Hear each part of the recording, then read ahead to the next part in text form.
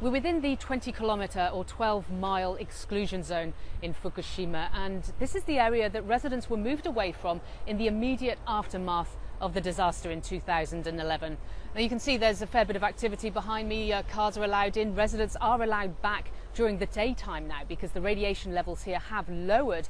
But they're still not allowed to stay the night. The government's still worried about uh, accumulative radiation, so people aren't allowed to stay here 24 hours a day.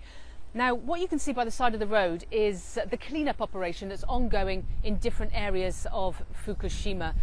And you can see what a painstaking operation this is. They're basically having to take away the top layer of the soil, which has radiation in it. They're also uh, cutting back the grass. Can, you can see that they're combing through uh, the bushes as well. It's a, it's a colossal task to try and decontaminate this area. And just a bit uh, further down, you can see there are thousands upon thousands of bags where this soil is uh, being collected and where it's being stored. So not only is there a problem with where to store this highly radioactive water from the plant, but of course in the surrounding areas, where do you store this highly radioactive soil as well? So this is just another problem that the government is having to cope with and of course, for people who live here, it has been very difficult. They still don't know when or even if they will be able to come back to this area.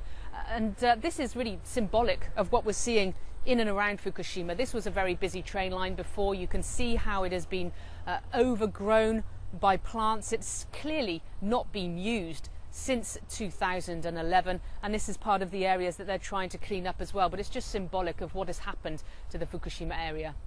Paula Hancocks, CNN, Fukushima, Japan.